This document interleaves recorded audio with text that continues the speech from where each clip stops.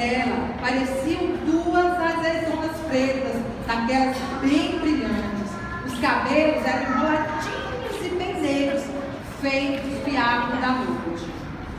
A, a pele dela é escura e lustrosa, que nem a pele da pantera negra.